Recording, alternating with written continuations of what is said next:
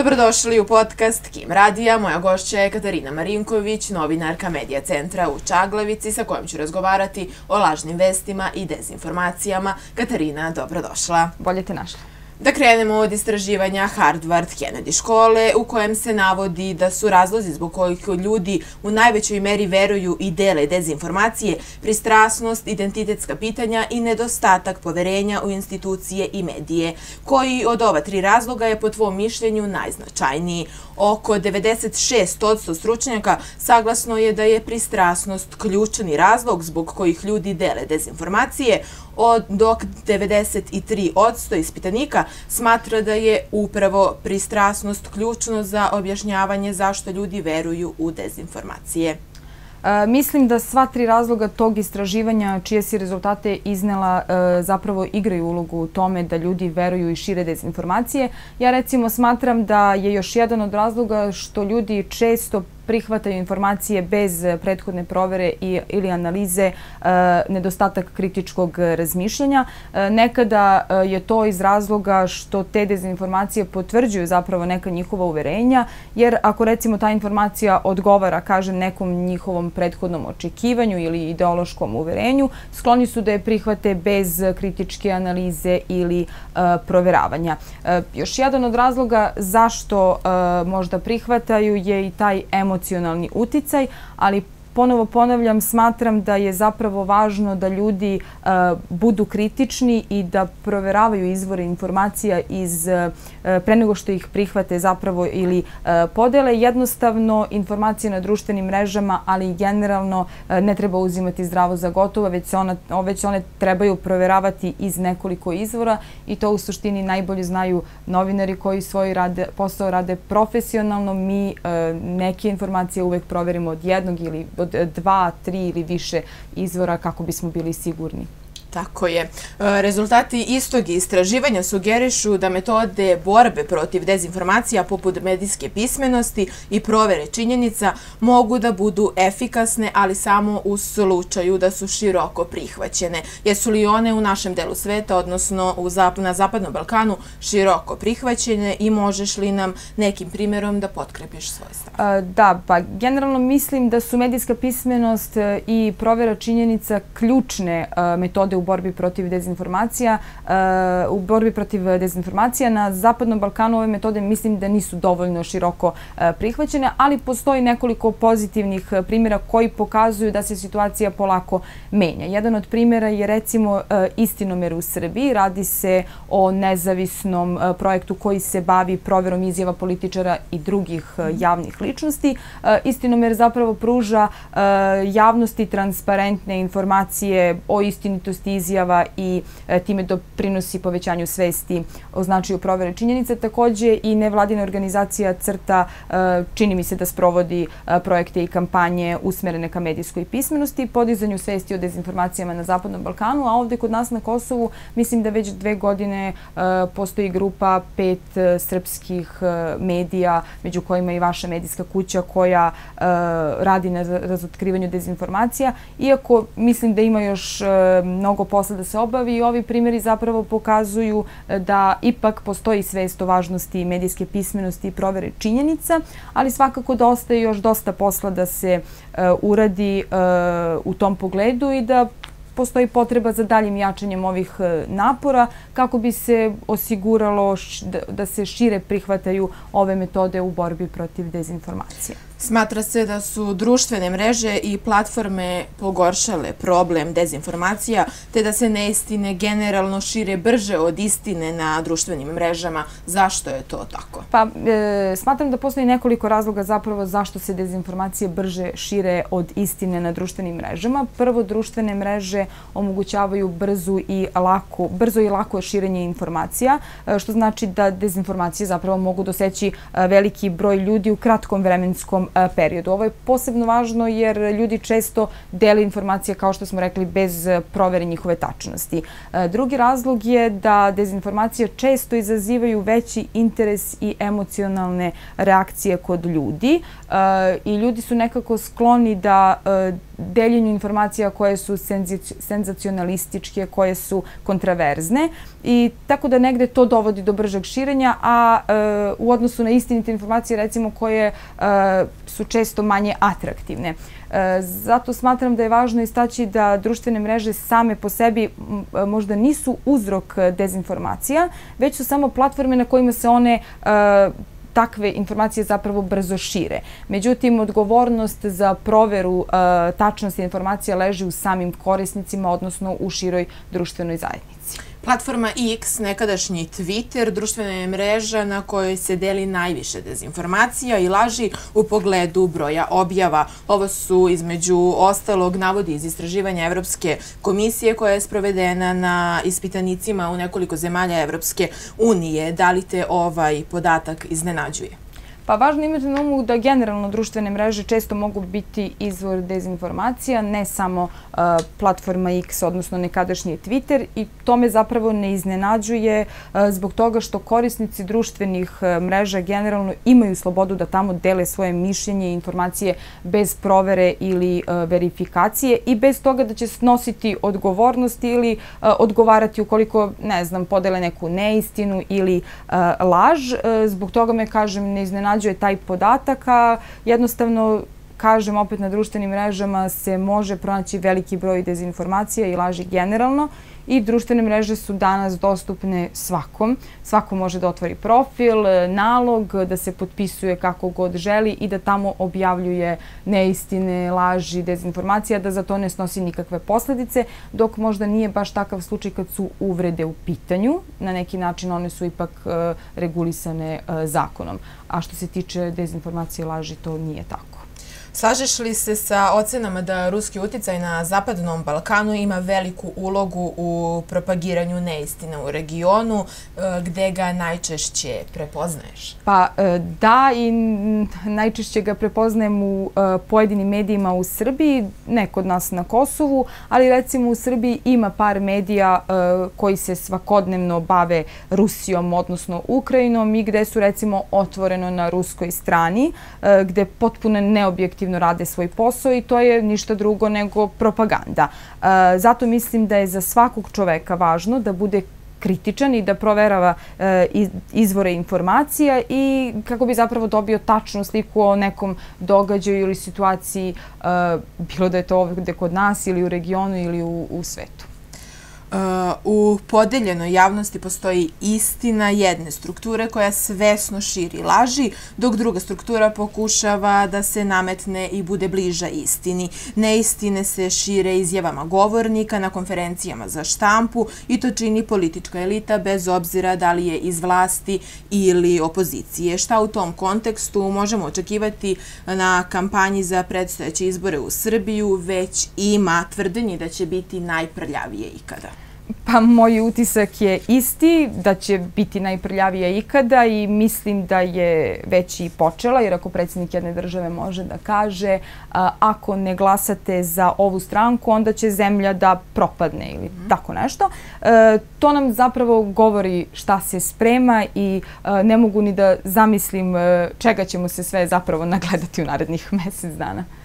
E, da li je redakcijama medija koje izveštavaju na srpskom jeziku na Kosovu već sada neophodan barem jedan novinar koji će se baviti samo demistifikacijom pojma i fenomena lažnih vesti? E, da, redakcijama medija koji izveštavaju na srpskom jeziku na Kosovu su neophodni novinari ne samo koji će se baviti time, e, nego i za ostale oblasti. Moram da kažem da srpski nezavisni mediji na Kosovu e, opstaju isključivo kroz projektno finansiranje i da su to zapravo male redakcije od e, šestoro, sedmoro ljudi i da oni nemaju profilisane novinare za određenu oblast. Tako da, e, da, to je potrebno, odnosno neophodno, ali mislim da recimo je drugačija situacija kad su albanski mediji u pitanju na Kosovu. Recimo to su malo veće redakcije i ne financiraju se isključivo iz eh, projektnog financiranja nego i od marketinga, što znamo nije slučaj u srpskim medijima. Tako da oni recimo imaju novinare koji su profilisani za određenu oblast, recimo životna sredina, ekonomija,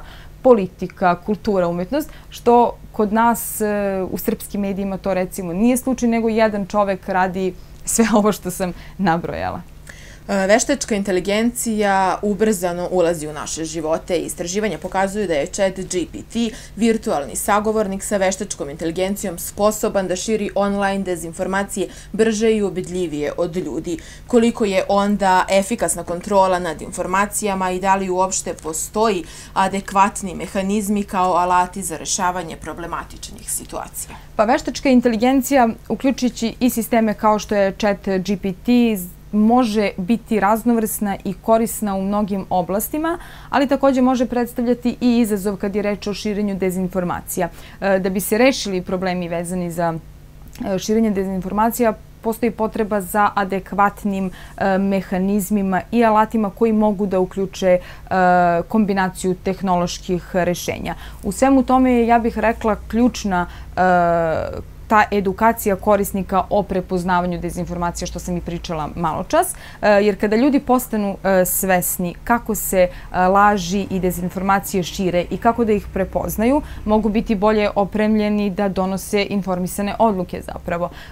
U svemu tome treba da postoji zajednički napor svih relevantnih aktera, uključujući tehnološke kompanije, vlade, medijske organizacije, ali i same korisnike, odnosno e, ljude, e, kad je, kako bi kontrola nad e, tim dezinformacijama i na suzbijanju širenja zapravo laži bila efikasna. Gotovo nijedan sukob u svetu više ne može da prođe bez davanja lokalnog konteksta, odnosno bez pokušaja da na njemu profitiraju određene političke strukture, centri moći i uticajne ličnosti. Da li je izbijanje rata u Izraelu, a prethodno i u Ukrajini, dovoljno jasan poziv na pojačavanje napora radi poništavanja narativa onih koji su odgovorni za širenje lažnih informacija? Pa sukobi se generalno često koriste kao sredstvo političke e, manipulacije i širenja lažnih informacija, izbijanje rata u Izraelu i prethodnih sukoba u Ukrajini svakako su podstakli e, rasprave o tome da se informacije koriste i manipulišu kako bi se e, promovisali određeni e, narativi. U takvim situacijama važno je da mediji, istraživači i građani budu kritički usmjereni, ponovo ponavljam, i da proaktivno traže istinu. Također je važno da se podržava transparentnost i odgovornost u izveštavanju kako bi se zapravo i smanjila mogućnost širenja lažnih informacija. U 2024. godini već imamo zakazanih 65 izbora širom sveta koji se direktno tiču više četvrtine ukupne svetske populacije. Ako imamo u vidu neke prethodne izborne procese, koliko treba da nas zabrine e, moguća poplava dubokih prevara u ovom kontekstu? Pa iskreno ne mogu da predvidim buduće događaje ili proceni moguće pretnje u vezi sa izborima, ali ono što je važno e, generalno za izbor uopšte, mislim e, da bi trebalo da bude izborni proces zapravo se sprovodi transparentno, fair i demokratski.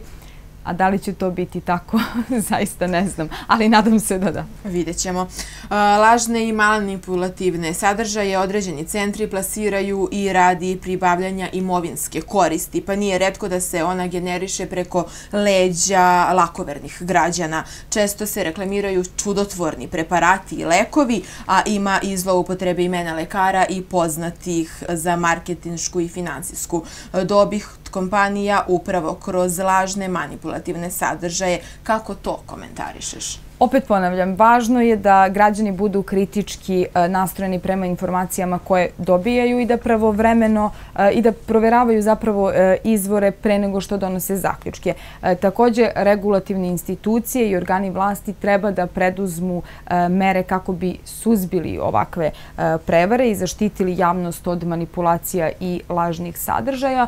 Naravno, to je negde i posao medija i nas novinara, ali to je svakako za one koji imaju resurse i kapacitete da se time bave. Mi, lokalni mediji, niti imamo resursa, e, niti e, vremena da se bavimo nečim što zapravo e, nije projekat. Malo čas sam rekla da su to uglavnom male redakcije sa po nekoliko ljudi i da ne stižemo ni svoj posao da odradimo. A zašto onda većina ljudi koje pada na te lažne reklame ne prijavljuju nadležnima one koji stoje iza tih kampanja? Pa, e, mislim da za to postoji nekoliko razloga. Prvo, neki ljudi možda nisu ni svesni da su prevareni ili izmanipulisani. Mhm. Jednostavno, teško e, prepoznaju lažne sadržaje, posebno ako su dobro osmišljeni ili prikazani na uverljiv način. E, drugo, neki ljudi se možda osjećaju prevareno i neprijatno im je zbog toga što su poverovali zapravo u tako nešto, u te neke lažne reklame.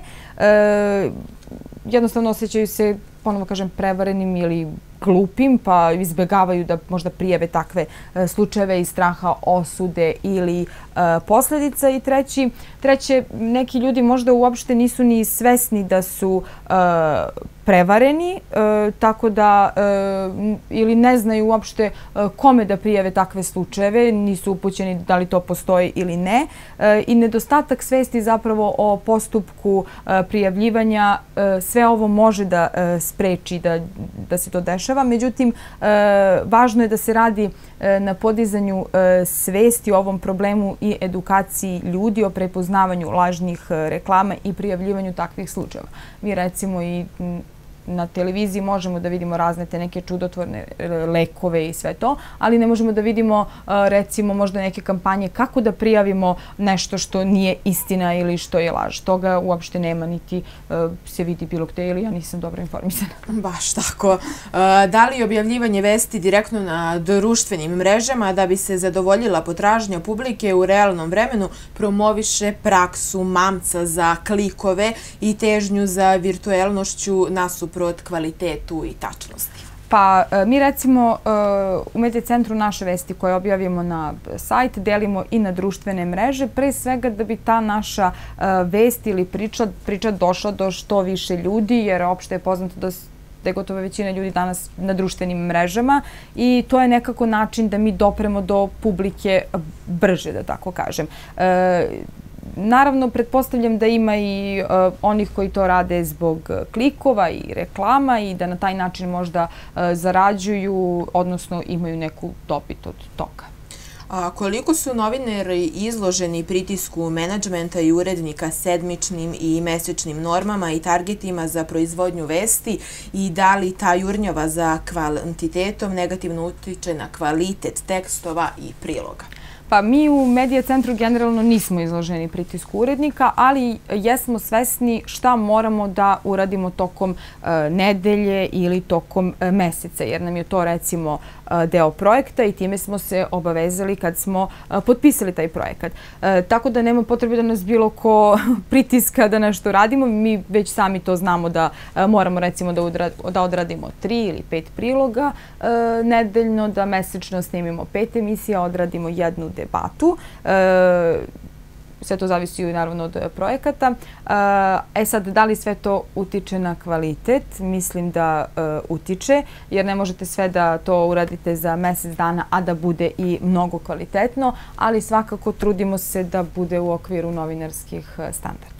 Šta je onda posljednja lažna vest koje se dobro sećaš i zašto je ona bila opasna? Ah, pa posljednja lažna vest možda ono u vezi sa e, Banjskom. Ne znam zapravo da li je lažna vest ili nije, ali mi to nekako ostavlja utisak već posle mesec e, i po e, dana koliko ima. Kada je recimo broj poginulih u pitanju, prvo smo imali nekoliko medija koji su rekli da je poginulo četvoro Srba. E, na kraju se to svelo na njih trojicu, međutim na početku smo mogli da pročitamo i da ih je u pojedinim medijima da je bilo kao deset ubijenih ljudi. E, tako da e, to mi je nekako ostavilo taj neki utisak i mislim da je opasno da se neko igra time i da manipuliše čak i ubijenim ljudima. Katarina, hvala ti na razgovoru. Pratili ste podcast Kim Radija o lažnim vestima sa novinarkom Medija centra u Čaglavici Katarina Marinković. Prijetno!